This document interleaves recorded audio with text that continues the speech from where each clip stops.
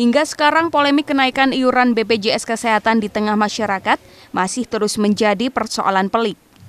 Di Kabupaten Sidoarjo, banyak peserta BPJS Kesehatan bahkan telah ancang-ancang untuk menurunkan tingkat kelas kepesertaannya apabila wacana itu benar-benar terlaksana.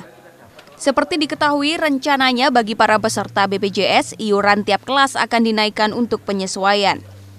Sumiati dan Supri, salah satu dari beberapa peserta BPJS Kesehatan di Sidoarjo, bahkan menegaskan apabila benar wacana penyesuaian tarif ini diberlakukan, pihaknya akan segera menurunkan kepesertaan BPJS-nya ke kelas yang lebih rendah.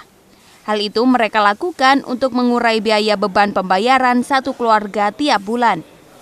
Jadi karena ya apa ya, ini rencana mau turun ke kelas 2 atau kelas 3 Oh mau turun? Kenapa bu kok pengen turun kelas? biaya Biaya.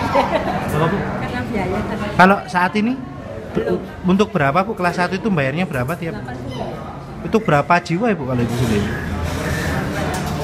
Empat orang. Jadi ini pengen turun ke 2 atau 3 kelas 3 sekarang dulu ikut perusahaan kelas 2 sekarang turun mandiri jadi kelas 3 berapa orang mas yang ditanggung mas?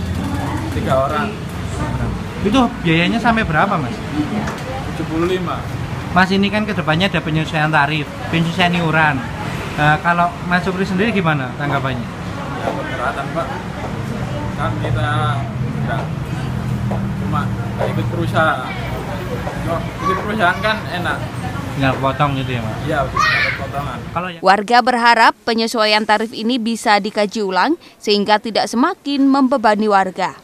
Belum ada jadi peserta yang mendaftar ya seperti biasa mendaftar yang waktunya membayar iuran kami himbau juga untuk membayar iuran tepat waktu seperti itu Tapi ketika mereka mau turun kelas prosesnya gimana? Bakal langsung eh, bilang ke BPJS atau seperti apa? ya nanti tentunya ada prosedur-prosedur kalau memang kalau misalkan nanti eh, ada peserta yang mau turun kelas nanti beberapa persyaratan datang ke kantor BPJS atau layanan yang sudah kami sediakan untuk mendekatkan ke masyarakat Dari Sidoarjo, Al Ansori melaporkan.